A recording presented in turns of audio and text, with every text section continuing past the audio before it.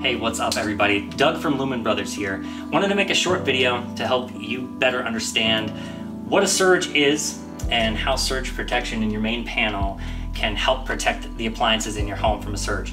What is an electrical surge? A surge is a short and sudden increase in voltage in electrical circuit. It can happen in a number of ways. One, a lightning strike. Another one is when power goes out to your home and then power is restored. Everything tends to come on at the same time and there's an increase in voltage. And um, every time one of the motors start in your house, i.e., your refrigerator compressor or your HVAC circuit, anything that has a motor in it, it uses a lot of electricity at first and there's a slight surge in the circuit and over time that can damage and diminish the lifespan of all of your appliances. All of our appliances nowadays, electrical appliances anyway, they've got low voltage uh, controls inside of them, motherboards, and they're really sensitive and a surge can take them out.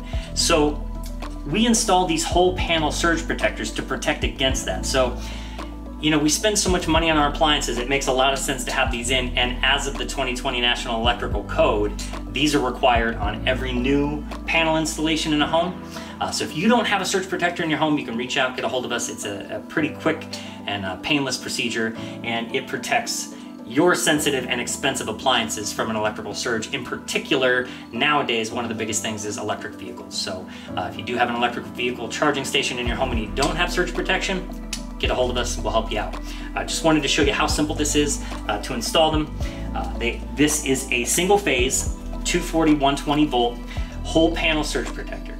Every one of them is different and they offer different things. So for example, this Square D Schneider QO uh, surge protector offers 22 kiloamps of protection um, and it has a specific warranty that covers up to $10,000 or your deductible on your homeowner's insurance if a surge takes out major appliances. So every one of these surge protectors has a different warranty on it, so just do your research when you're when you're looking them up.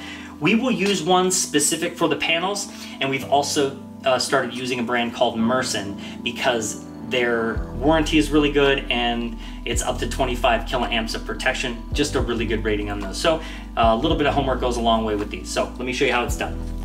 Now this is a 240 volt surge protector, so it occupies two spaces in the electrical panel. And we need to bring our neutral wire up and attach it to the neutral bus of the electrical panel. So as you can see with this surge protector and all of them, they're gonna have an indicator light. Typically it's green, sometimes there are two. On this one we've got one. That's gonna show you that the surge protector is armed and ready to do its job. If this light were to go out, it's all done, need to replace it, but it's done its job, and that's the idea.